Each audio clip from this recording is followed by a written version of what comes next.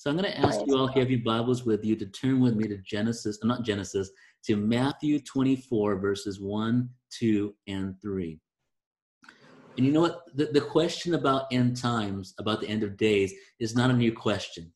It's something that has been asked since the beginning of time. In fact, Adam and Eve were expecting the coming of Messiah as well. Abraham, Isaac, and Jacob were all exp- and, uh, eagerly awaiting the coming of Messiah. Moses was expecting the coming of Messiah.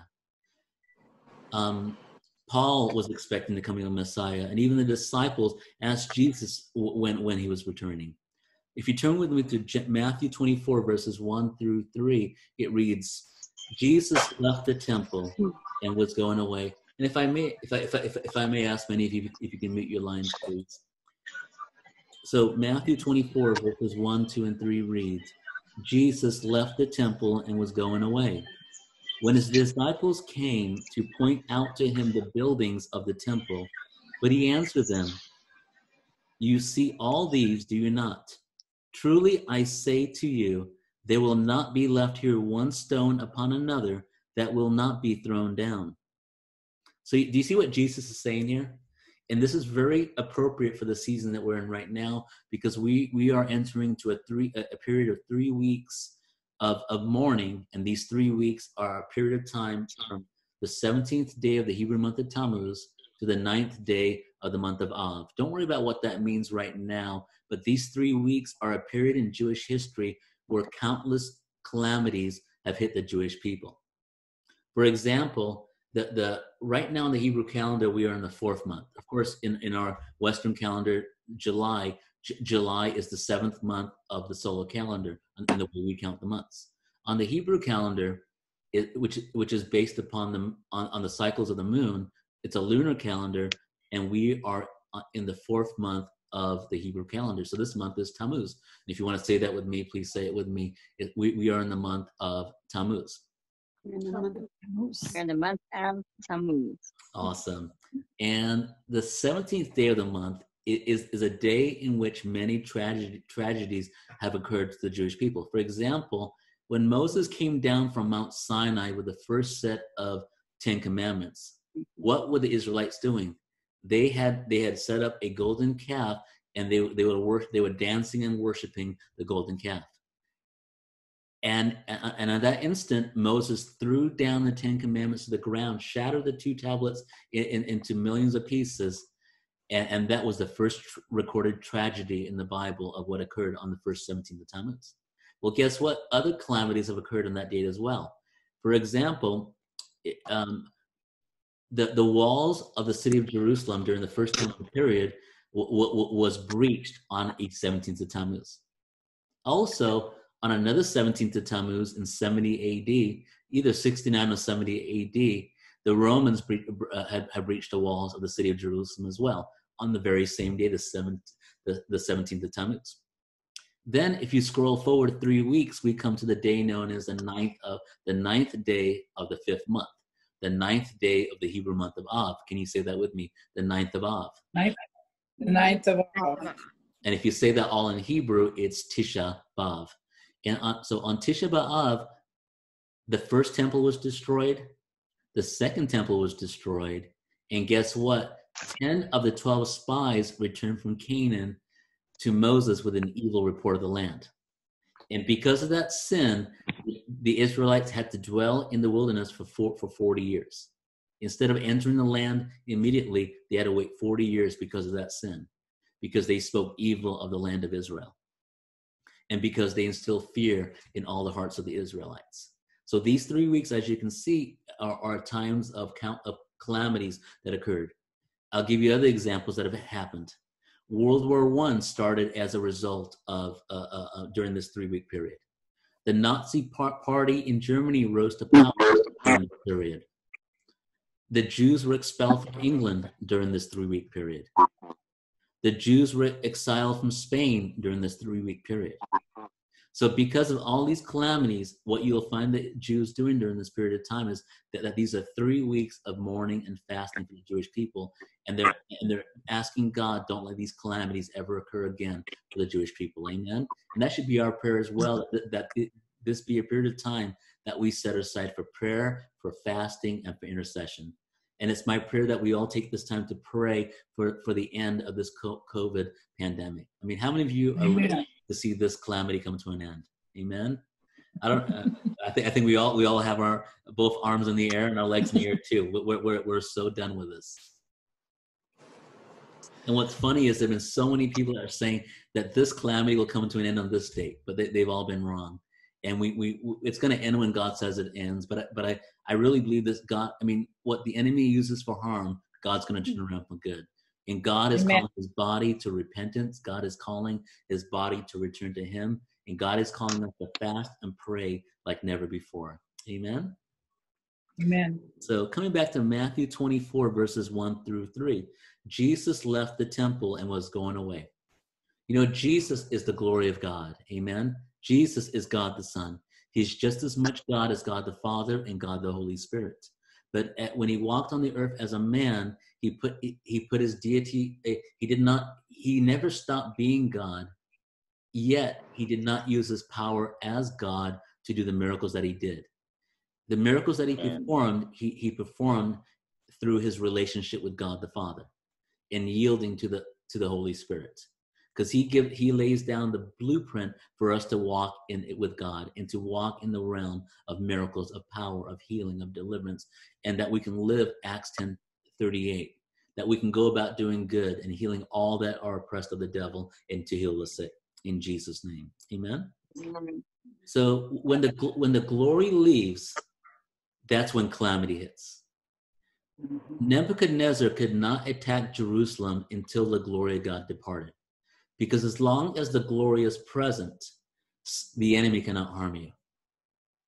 And that's why it's my prayer that, Lord, please do not take your Holy Spirit from us. Mm-hmm. And when the Holy Spirit leaves, take us with, with, with him. Because we, we, not, we never want to be separated from God's Amen. glory. And when so yeah. when we look at the verse here in Matthew 24, Jesus left the temple. So it's in a sense the glory he's prophesying the leaving of, of, of, the glory. And then look, look what Jesus says. Jesus says, You see all these things, do you not? Truly I say to you, there will not be left here one stone upon another that will not be thrown down. Now, I want you to imagine the shock with the disciples when they hear their Messiah say this. When they see Jesus say, there will not be left one stone upon another. I mean, can you imagine something coming of, of that magnitude coming to fruition? This magnificent structure, this beautiful city, these beautiful walls, this uh, this this uh, this amazing temple, that it's all going to come down to the point where there will not be one stone left upon another. Jesus' prophecy was fulfilled exactly in 70 AD during the three week period of mourning. And what took place is the, the, the, Romans burned the entire city down to the ground and they broke every stone, that there was not one stone left upon another. And the reason is the Romans knew that the, that the Jewish priest would hide uh, valuable gold and jewelry and, and valuable things within the stones. They were like almost like they were baked into the stones. So that's why they broke every stone to, to, to, to discover those treasures. So G, when Jesus prophesies, pay attention because his prophecies will come true exactly. I mean, to the dotting of every T, to the I mean to the sorry, to the crossing of every T, to the dotting of every I. His prophecies come to, into fruition 100%. Hmm. And then in verse 3, as he sat on the Mount of Olives. This is the very same place that he will return to in his second coming. The disciples came to him privately, saying, Tell us, when will this be? And what will be the sign of your coming and of the close of the age? Now, just before that, Jesus talks about the destruction of the temple. And then in the next verse, the disciples ask him, When will the end of the world take place? These two scriptures don't really seem to connect with each other. But then that's why we need to understand the mindset of the Jews in the first century. And their mindset was not just the first century, but but, but for, for the Jews throughout the ages, even back to the first temple period, when there is no the when there is no temple present, it is as if the world has ended. Because without the temple, there is no Mm-hmm. animal sacrifice. Without the temple, there is no there is no service to God. Without the temple, there is no glory. So when there's no glory, it's the equivalent of the end of the world. And I want you to imagine your life as Christians, for those of you on the line that are that are Christians, how I mean, to not have the Holy Spirit in, in, dwelling inside of you is the equivalent of the end of the world for us. Because where would we be Mhm. without God's presence? I'm telling you, that God's presence should be more important to us than anything. Amen. Amen. So, so, and my goal tonight is to bring you to that place of loving God's temple, and you are the temple of the Holy Spirit, and your and your your greatest desire it would be is to allow the Spirit of God to reign inside of our beings, Amen. To allow the Holy Spirit to have His way, to allow Him to use our senses, allow Him to use us when He wants to use us mm-hmm. in prayer, in intercession, in healing, in deliverance. That we are obedient to the Holy Spirit. If he wants to wake you up at three in the morning to pray, then you just yield to the Holy Spirit and allow him to use you as a vessel. Amen. Mm-hmm. So, Amen. and this Amen. question, this question that the disciples ask him, what is the sign of your coming? What is the sign of the end of days? See, this concept of end of days, I don't know if this concept exists in other faiths, but this is a very key question that we, in, in our faith as Christians and, and, and, and, as Jews, uh, the question is, when will the end of days take place? Now, one of my biggest passions ever since I became a Christian, probably around the age of 11, 12 years old, is I, I have, I have just been really drawn to biblical prophecy and of end time events.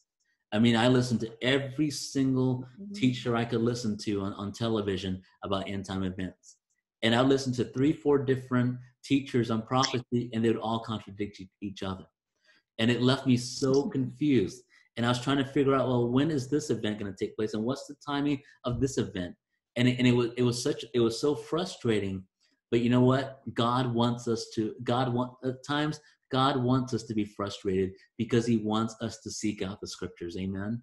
Because I'm telling you, this is the most fascinating topic. Now, I don't believe there's any person that has it completely right. Because you know, one thing about biblical prophecy, we don't know it until it's already com- come to pass. And once it's come mm-hmm. to pass, then we can put everything together in, in, in it perfectly. So even as I'm teaching you the ne- next several weeks, and my goal is to take you through 22 chapters of Revelation, even before I have the answers. But it, it, but through this journey, I want to take you through a journey of 22 chapters of messianic miracles, and and and, to teach you to the best of my ability through the help of the Holy Spirit to help you understand that the days that we are living in. COVID 19 COVID 19 uh, should not be a surprise. I mean, that this is just one of, one of, one of the calamities that have hit the earth. Amen.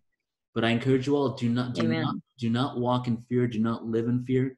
You may initially No. be afraid, Amen. but but I encourage you: allow this to draw you closer to God, because the world is going to be coming to you for question for answers.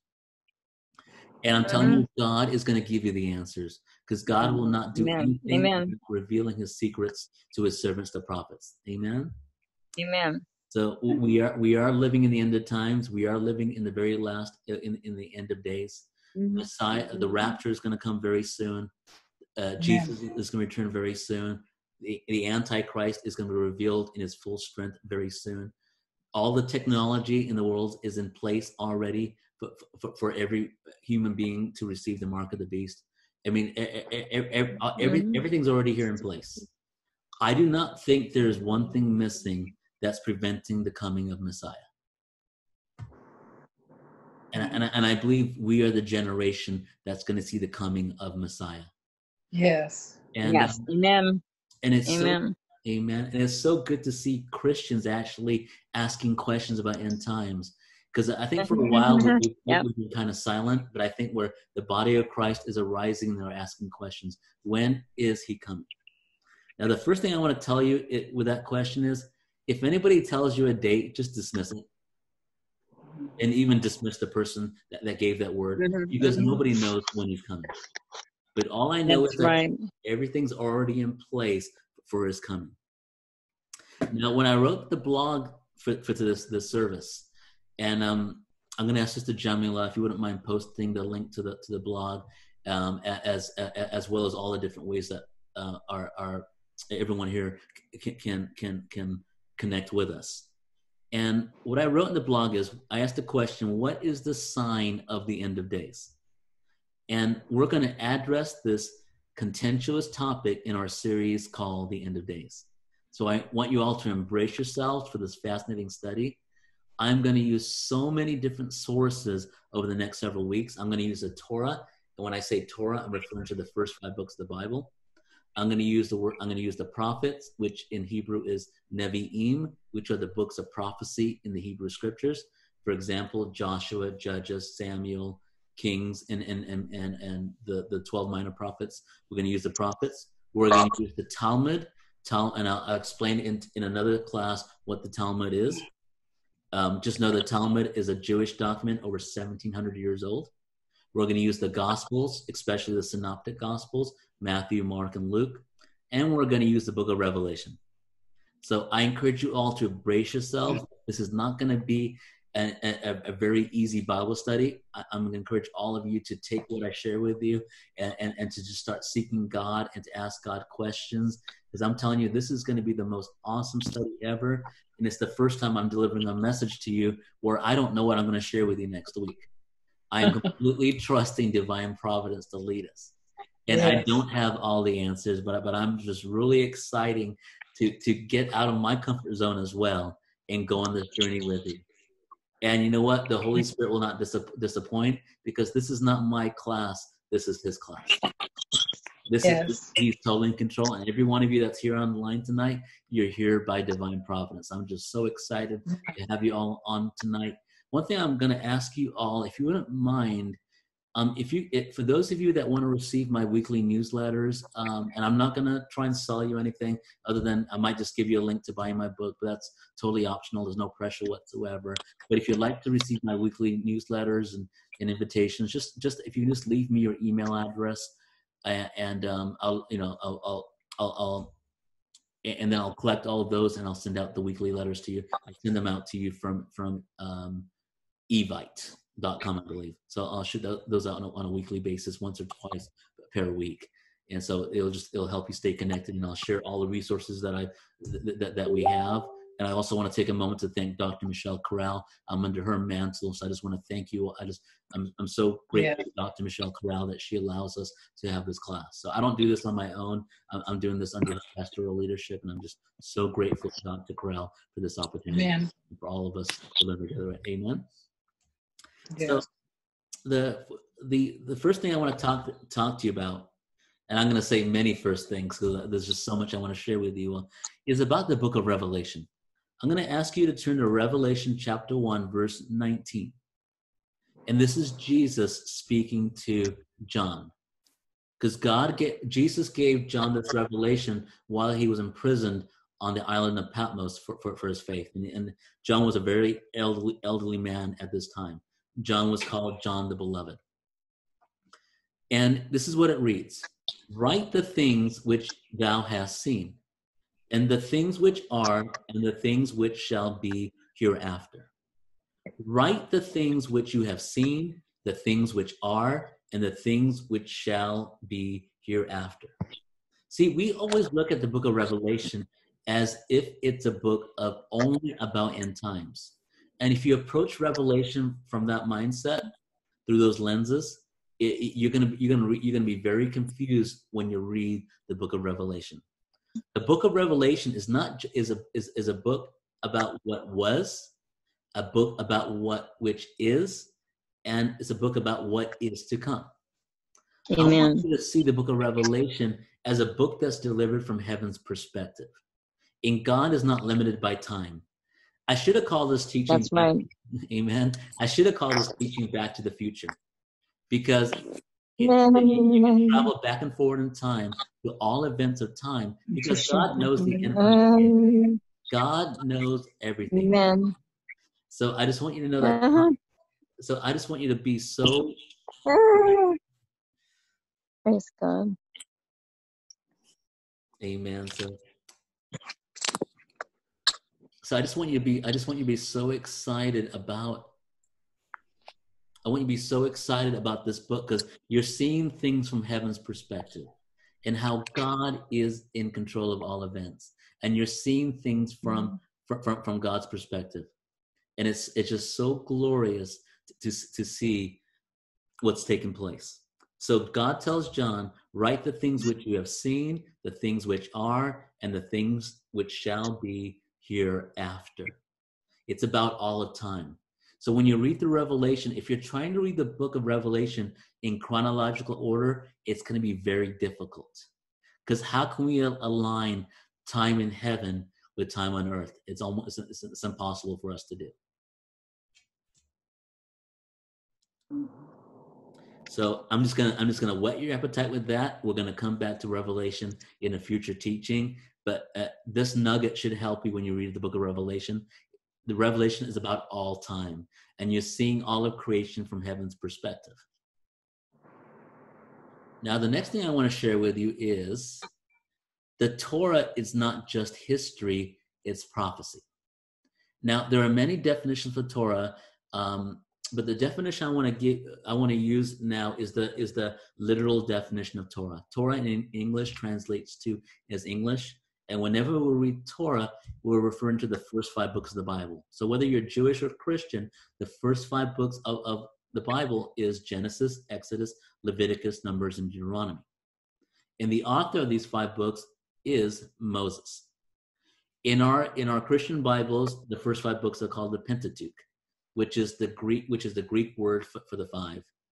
And, and the, the, the Hebrew equivalent would be the word Humash, which also means the five and the Jews also call the first five books the Torah, which means instruction. And so the Torah, the first five books of the Bible, are not just history, they're, they are prophecy. So when you when you read Genesis, Exodus, Leviticus, Numbers, and Deuteronomy, you're not just reading about events that took place in the past. You're reading about some things that are gonna repeat in the future, and they'll repeat over and over and over again. Some things will repeat in every generation. So let's go to Genesis 25, verse 8 and 9. Genesis 25, verse 8 and 9. And it reads Abraham breathed his last and died in a good old age, an old man and full of years, and was gathered to his people. Isaac and Ishmael, his sons, buried him in the cave of Machpelah, in the field of Ephron, the son of Zohar the Hittite, east of Mamre.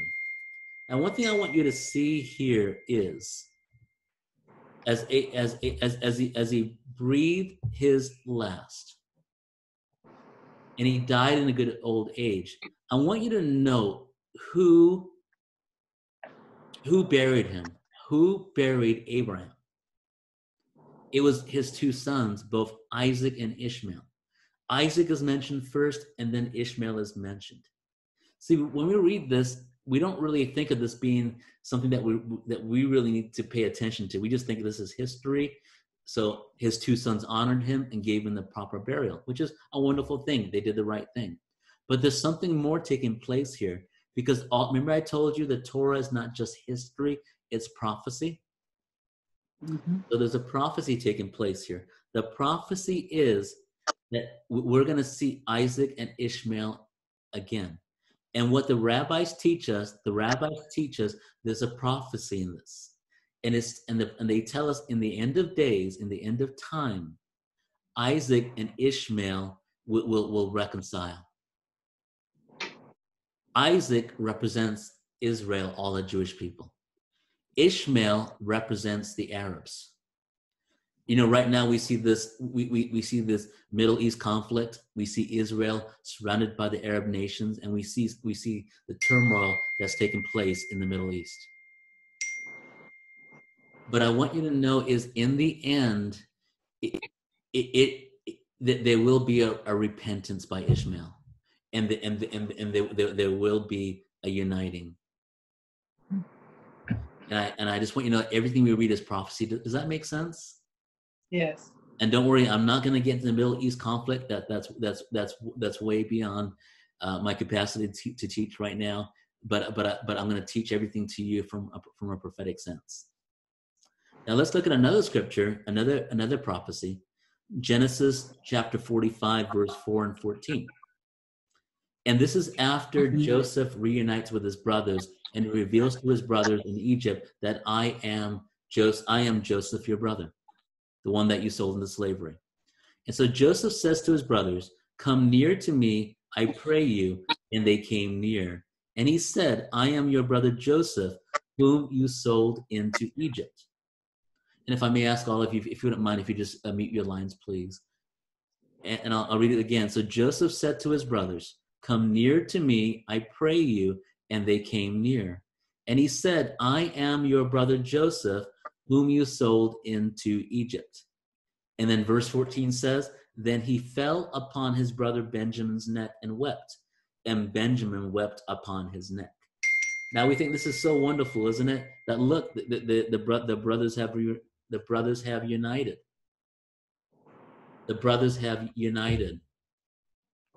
And it's so wonderful that Benjamin and Joseph, who are both sons of Rachel, have united. And we're wondering how we're, we're, one, we're just rejoicing at their at their reunification. But you know what? There's more taking place here. If if all that took place were the re- reuniting of two brothers, I do not believe that Moses would have documented it. But because he documented it, it means that there's a prophecy here, and that means this is an event that's gonna that's gonna play again in the future. So notice that Joseph weeps on the neck of Benjamin, and Benjamin weeps upon the neck of Joseph. This is another prophecy that will be fulfilled in the future. For example, and this is so appropriate for this three week period, counting from the 17th of Tammuz to the ninth day of Av, during these three weeks of mourning. When Joseph wept upon Benjamin's neck, Joseph was mourning, he was weeping because he prophetically saw that there will be a tabernacle, a temple on Benjamin's pro- uh, uh, land in the future that will be destroyed. And Benjamin wept on Joseph's neck because he knew that the temple, that the tabernacle in Shiloh will be destroyed on within his territory in the future. So they were weeping over the destruction of the future tabernacles and future temples in Israel. You all see that? Yes. So as you see this, the entire Torah is a word about end times, about what's going to take place in the end of days, because the expectation of the coming of a Messiah began in the garden. And in fact, the rabbinic commentaries tell us that if Adam and Eve would have remained faithful for just a few more hours, just a few more hours, they would have ushered in the coming of Messiah. But because they sinned, the, the coming of Messiah was delayed. So, so this, and do you remember the struggle with with with Jacob and and his his two wives, Leah and Rachel? They all they they knew prophetically that they were gonna they were gonna birth the, all the tribes of Israel, and they knew that the Messiah was gonna come through the bloodline of of of um, you know we're gonna come through Jacob's seed. So that there's been these messianic expectations. Some weeks ago, we were studying about Ruth and Naomi. And it was known that through Boaz's bloodline, through that bloodline, would come the future Messiah. And so, and even today, we are expecting the coming of Messiah. And even in this COVID 19 uh, situation that we're in right now, I, I really believe that the coming of Messiah is being accelerated. Now, Mhm. none of us know the day, the hour. We, we don't we don't know when he's coming. You know, it could be any moment. It could take place during our our conference call here this evening. We don't know when he's coming back, but we know he's coming very soon. And I believe with, with my with all of my heart, it's going to take place during our life lifetimes. So, uh, so I'm really I'm really excited and anticipating the coming of Messiah. Amen. You know, and I want you to imagine if you knew when when Messiah was coming, would do you think that would be a good thing? I don't think so. Let's say you knew Messiah was coming on December 20th, 2020. Are you going to spend all the time from now until December 20th living right? Some of us would be, but you know what? Some of us would take the liberty and say, I'm going to live it up until December 18th, Then I'm going to repent on December 19th, and, and I'll, then I'll know I'll be ready for the coming of Messiah on hmm. December 20th. See, that's the danger in knowing when he's going to come. Yes. So it's better that we don't know and we we keep anticipating his coming and we and we try to live each day of our lives living the best way that we can and and and just expect him to come. And if you don't know Jesus as your Lord and Savior, I invite you to invite him into your life even right now. That Lord Jesus, I know I believe you are the Son of God. I believe that you died on the cross for my sins, and I receive you as my personal Lord and Savior. Amen. And, and, and if you pray that prayer, prayer, you, you, you have become born again. It's, it's that simple.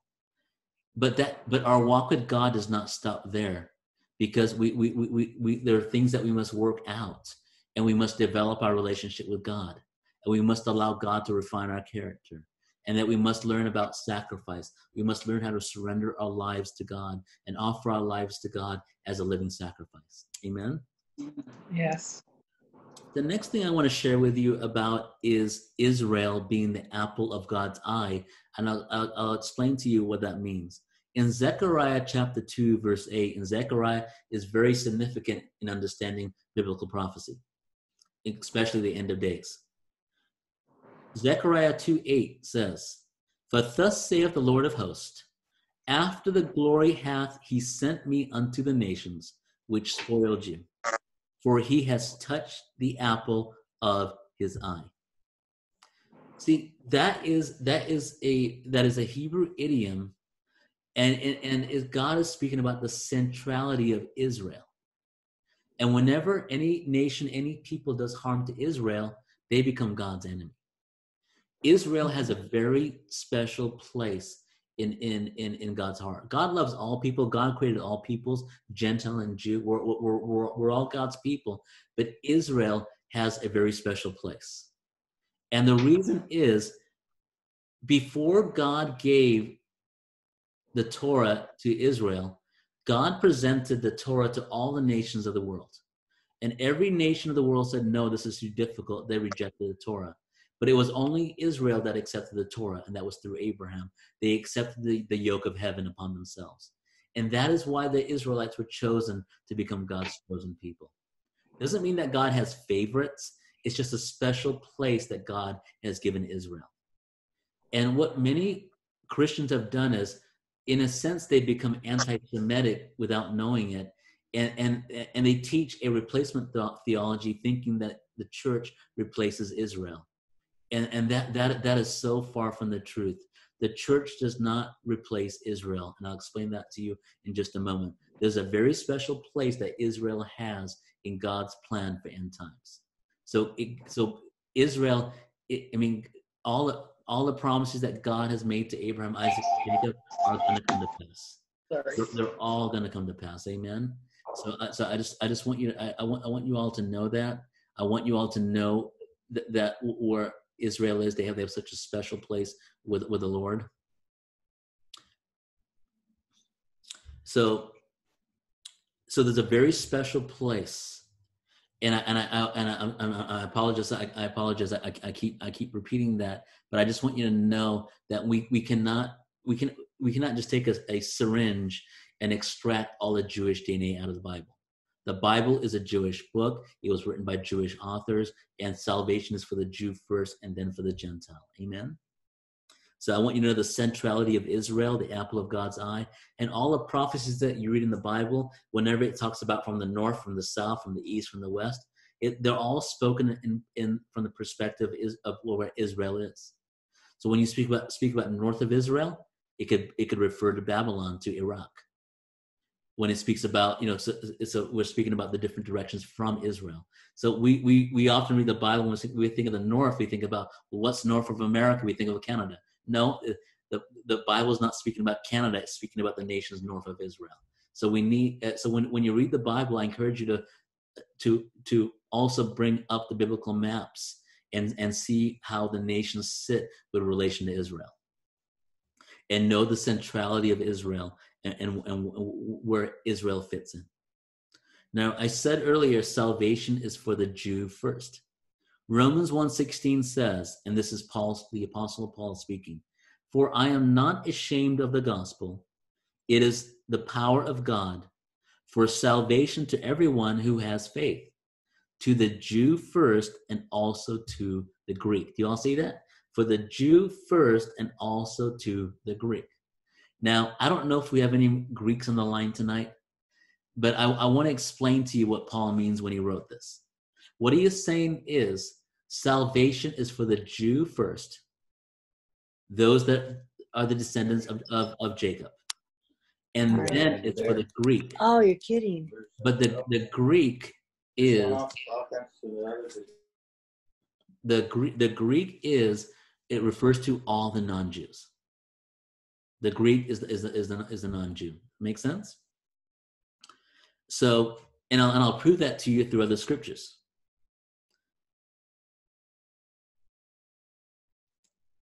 And I also want to explain to you that Jesus is first the Jewish Messiah before he is the Messiah of the of the entire world. Make sense? He's the Messiah of the Jewish, he's the Jewish Messiah first, then he's the Messiah of the entire world. And I'll give you an example uh, of how when Jesus came in his earthly ministry for three and a half years, his ministry was not to the Gentiles. His ministry was to the Jewish population. He was sent to the lost tribes of Israel. Look at Matthew chapter 15, verse 22 through 28.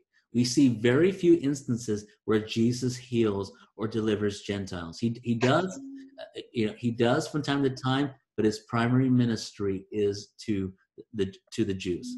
Look at Matthew 15, verse 22.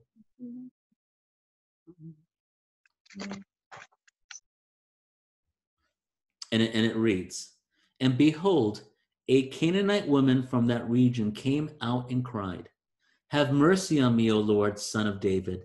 My daughter is severely possessed by a demon. But he did not answer her a word. And his disciples came and begged him, saying, Send her away, for she is crying after us. He answered, I was sent only to the, to the lost sheep of the house of Israel. See, we think Jesus is being very cruel here. But you know what? Jesus is not being cruel. Jesus is is is behaving in a way that was characteristic of, of, of the rabbis. And sometimes Jesus will appear to ignore you, but he's not ignoring you. He, he he's trying to, to develop you spiritually and, and he's trying to develop an, a, a, an attribute in you where you'll, you'll draw closer to him and that you'll hunger more for him. Amen. I mean, imagine if God answered all of your prayers at the very instant that you made the request. You know, you would you would never grow. But there are times where God will hide his presence from us to cause us to seek after him more uh, you know more intently with more fervor. And that's what God was doing. That's what God the Son, that's what Jesus was doing with, with this woman, with this Canaanite woman he, he, was, he was allowing her faith to even develop even more and to be more fervent in, in her request. And sometimes you've got to get on your face before God and cry out to Him. Sometimes you have to fast. Sometimes you you've got to give things up, even turn the plate over, and and and and, and really give your sacrificial time to God. Because some some things are, are only going to be birthed through sacrifice. Amen. You know, uh, for those of you that haven't heard me say this before, one of my favorite books is called Rees Howell Intercessor. It's a book that Dr. Corral introduced um, us to uh, some years ago. And that is the most incredible book I've ever read on intercession. And I'll give you an example.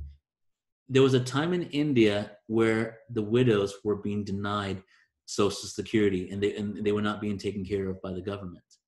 So God put the burden upon Rees Howell that he was going to fast, he was going to intercede, for the widows of India until the widows receive what they should receive with, social, with the equivalent of our Social Security. And you know what he did? He ate just the way the widows ate. And I believe that was, I believe it was only one bowl of rice per day or every other day. I forget what the fast was, but he consecrated and lived and ate the way the widows of India, uh, the way the widows of India were living.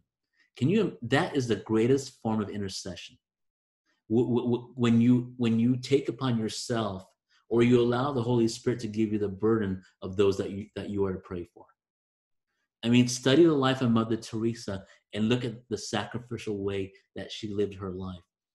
Her life was a life of intercession for India. And I'm telling you, because of her sacrifice and her labor, I mean, there were so many Hindus at her funeral, so many that honored her, her life because she she Uh, of because she lived just like them. She dressed just like them. And and and uh, and I encourage all of you to allow the Spirit of God to give you burdens. I encourage. I'm asking the Holy Spirit even now to give all of us uh, on this call a burden for America, to really take on the burden for America, because I do not like the way America appears to be going, and it almost looks like America is moving into a state of uh, anarchy. And my prayer is that we are going to return to God wholeheartedly. Amen. That we return to Him, that we love Him, and that we just live lives that uh, uh, that worthy of our calling in Christ Jesus. Amen. And I'm telling you, I'm so grateful for the opportunity to share God's word with you. And I want to share something here in Matthew chapter 15. And so, you know, Jesus says, I was only sent to the, to the lost sheep of Israel. So this Canaanite woman, she understands that. She knew that Jesus' ministry was to the Jews. But you know what she says? She, she, she pushes in, she presses in. And she says, Lord, help me. And he answered, It is not fair to take the children's bread and throw it to the dogs. Now, I don't want you to translate this in, in, in an American sense. You need to understand rabbinic idioms to understand what, Ju- what Jesus was saying. And so when when he says it's not fair to take the children's bread, he's saying it's not fair that I take that which is given to Israel, to the Jewish people, and cast it to the Gentiles. Does that make sense? There's also another verse in, in, in the in the uh, in the parables of Jesus where it says, "Do not cast pearls before swine." And the meaning of that parable is that you don't take that which is holy and give it to those that are not ready for it. But we cannot give the deep revelation of God's word to those that will not appreciate it. And that's what Jesus is saying here. And then the woman demonstrates tremendous faith when she says, she says Yet even the dogs eat the crumbs that fall from the master's table. And then she, what she what she demonstrates is that she goes, I know that this word is for the Jews, but let me receive the crumbs. Let me receive the crumbs. And Jesus answered her, and Jesus honors her and says, O woman, great is your faith. Be it done for you as you desire. And her daughter was healed instantly. Isn't that awesome? You see the humility that she's demonstrating? Tremendous, tremendous humility here. And I encourage all of you to, to have this humility and not to lord yourself over others, but just, just to humble yourself and salvation is for the Jews first. You know, I'm telling you, I have so much respect, so much honor for all the Jews throughout the ages that they kept the Torah in the midst of the Holocaust, through all the persecutions that have taken place throughout the ages. They have kept their word. And because they have kept their Torah, we have that we are recipients of the Torah too. Amen. So I'm just so. I'm so grateful. And Jesus has not forsaken the Jewish people. There will become a day that the blinders will be taken off and they will embrace their Jewish Messiah. Amen. I'll give you another example of where it shows salvation is for the Jews first. Let's look at Acts chapter 17, verse 1, verses 16 and 17. Acts 17, 1, 16, and 17. And this is where we see Paul preaching in the synagogues. And it reads Now, when they had passed through Amphipolis and Apollonia, they came to Thessalonica, where there was a synagogue of the Jews. Verse 16. See, we before 16, we see where does Paul go first? He goes to the synagogue. He goes to the place of, uh, of, of Jewish worship. He goes to the place where the Jew, the Jews gather. And then later on in verse 16, he was in Athens. And his spirit was provoked within him as he saw the city was full of idols. So he argued in the synagogue with the Jews and the devout persons, and in the marketplace every day with those who chanced to be there. See what Paul is doing here? He first preaches to the Jews and then to the Gentiles. Salvation is for the Jew first, and then for the for the Gentile. All of us being, uh, all of us that are on the line that are that are not that are not Jews will fall into the category of the Gentiles. But because of Christ Jesus, we are grafted into the vine. But we must understand that salvation is for the Jew first. And if you're if you can, if you're with me here, uh, please say Amen or or type Amen on the screen. So we need to have that understanding if we want to understand biblical prophecy and especially about the end of days. Now, the next question I'm going to ask you is when will Messiah come? When will Messiah come? Well, the answer to that is found in Matthew chapter 24, verses 32 through 44. Matthew 24, starting in verse 32. And this is what Jesus says from the fig th- tree, learn its lesson. As soon as its branch becomes tender and puts forth its leaves, you know that summer is near. So also, when you see all these things, you know that he is near at the very gates. Truly I say to you, this generation will not pass away, but my word will not pass away. But of that day and hour, no one knows. See, no one knows the day and hour of Messiah's return but only the Father only. Verse 37 As were the days of Noah, so will be the coming of the Son of Man. For in those days before the flood, they were eating and drinking, marrying and giving in marriage until the day when Noah entered the ark. And they did not know until the flood came and swept them all away. So will be the coming of the Son of Man. Then two men will be in the field, one is taken, one is left. Two women will be grinding at the mill, one is taken, one is left. Watch therefore, for you do not know, for you do not know on what day that your Lord is coming. But know this that if the householder had known in what part of the night the thief was coming, he would have watched and would not have let his house be broken into. Therefore, you must you also must be ready, for the Son of Man is coming at an hour you do not expect. See, during the days of Noah, the people did not know the, the day or the time the flood was happening, but only Noah and his sons and his family were ready for it. How do we know the end is near? How do we know that we're that we're in the end of days? You know it from verse 32. From the fig tree learn its lesson. As soon as its branch becomes tender and puts forth its leaves, you know summer is near. So also, when you see all these things, you know that he is near at the very gates. I want you to know that we are at the very gates of the returning of the Messiah. The lesson from the fig tree or the branch putting on its leaves is a, is a prophecy. And the prophecy is when the, me, the meaning of the fig tree putting on leaves is a prophecy of Israel becoming a nation. See, Israel did not become an independent nation until 1948. When Jesus walked upon the earth, Israel was not an, an independent nation, it was an exile. It did not become a nation until 1948. And what Jesus is saying, when, it, when Israel becomes a nation again, that is the sign of the end of the days. And that is the generation in which Messiah will return. And guess what? I mean, for some of you in this line, Israel became a nation within your lifetime. And I'm telling you, this is, I mean, the, the Jews could never imagine 2,000 years without having their own nation. And look what God did suddenly in 1948. Israel achieved statehood. So I want you to know that we we are in the end of in the end of days and messiah is coming very very soon and the rapture is going to take place very soon for those of you that don't believe in the rapture look at verse 40 from what, what we just read verse 40 and 41 two men in the field one is taken one is left. Two women will be grinding at the mill one is taken one is left.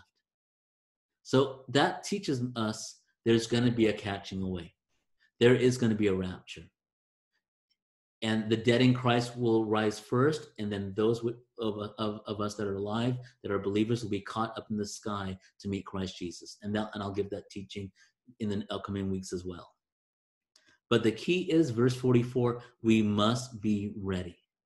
And I encourage all of you during this season to get your lives right, to repent to the best of your ability, to forgive those that have hurt you, and to love God uh, like you've never loved God before.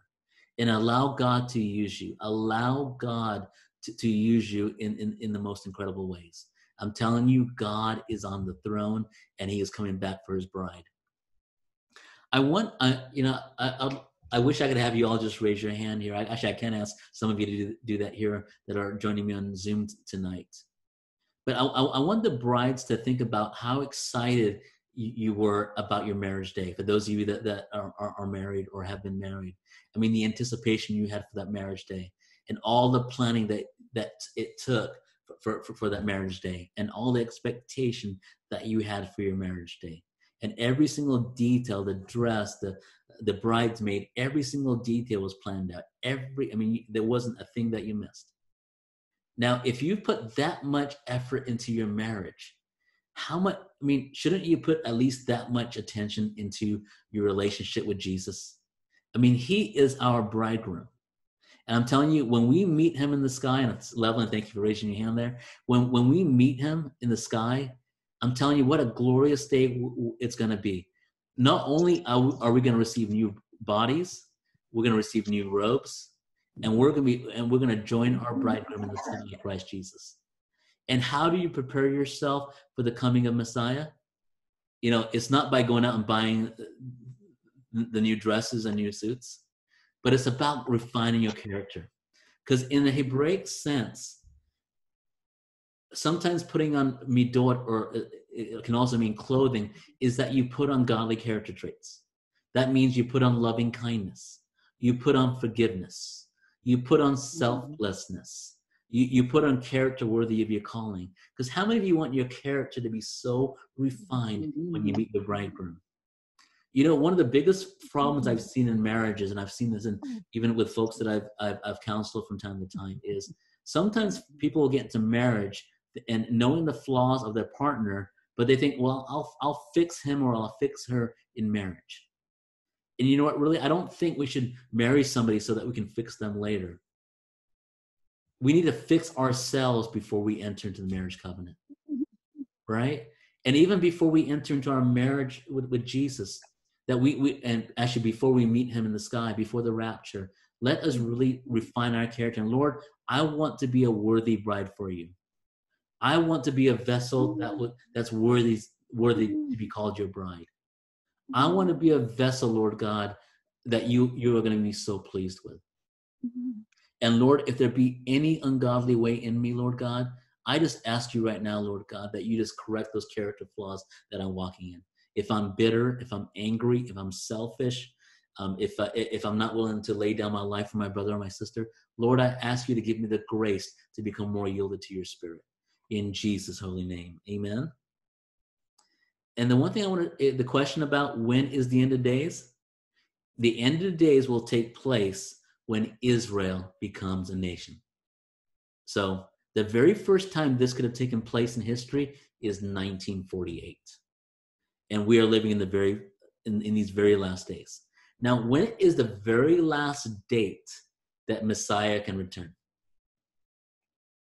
the very last day that messiah can return or the very last year in which messiah can return is the year 6000 on the hebrew calendar we are in the year 5780 that means it has been 5,780 years since the creation of Adam and Eve.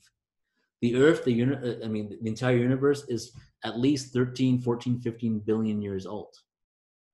But mankind has been on the earth for less than less than 6,000 years. And, and, to be exact, 5,780 years. So Messiah will, will return by the year 6,000. But God is going to accelerate his coming if the people have been found worthy. And that means if we perform acts of loving kindness, if we live our lives worthy of our calling in Christ Jesus, we will accelerate the coming of Messiah. And I truly believe it's going to happen very soon. It could be any day now. Amen. And I don't know the hour, and there's no way I'll even, even try to figure it out because only God the Father knows. Right. Amen. Now, when will when will Messiah come? Actually, what will take place when Messiah comes? There'll be no more war. And you can see that in Isaiah chapter 2, verses 2 through 4. Can you imagine living in a world where there's no more war? I don't think we could even imagine it, but when Messiah comes, there will be no more war. And I'm going to stop here. There's so much I had planned to share with you tonight. Sister General, of the scriptures I've shared with you will continue on from those next next Monday evening.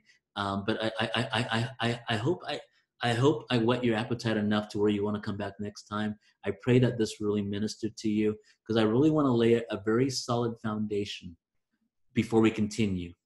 Because we, we really need to understand the Jewish people as the apple of God's eye and to know that God has not forsaken his people Israel. And I'll give you an example. Do you remember when Joseph revealed himself to his brothers? You know what he did? And I and I and I talk about this in detail um, in my book, the um, the final countdown. Um, I before Joseph revealed himself to his brothers, he sent all the Egyptians out of the room, and then he wept aloud and revealed himself to his brothers in secret, because he did not want to humiliate his his, his brothers. He did it in the most respectful way and revealed himself to them. I believe Christ Jesus is going to reveal himself to the Jews in a similar manner. And I believe the Egyptians represent us non non Jewish believers. So I think maybe a majority of us on this on this call tonight are are are, are non Jewish. So we represent the Egypt the Egyptians that Joseph sent out of the room. And I believe that represents the coming of the rapture. And I believe at the time after the rapture takes place, then Christ Jesus, the Messiah, is going to reveal himself to the Jewish people. He's not going to put them to shame. I believe we're going to be taken out of the way before he reveals himself to the Jewish people. Another thing, uh, uh, so because the way Jesus deals with us, us is with so much love and kindness. You know, God does not openly humiliate us if we're living in sin. He will send prophets to us and he will deal with us in private first. Right? He'll he'll deal with us in the most in, in, in, in the in the most kind way. In the most because he doesn't God doesn't want to shame any one of us. And he's so kind, he's so considerate, he's so loving. And we all struggle with different sins. Every one of us has different things that we struggle with, things that we're ashamed of. But you know what? God knows our dispositions. He knows our disposition. He knows our weaknesses. But you know what? He wants to help us through our infirmities. And he can identify with us and he will cleanse us with his own blood.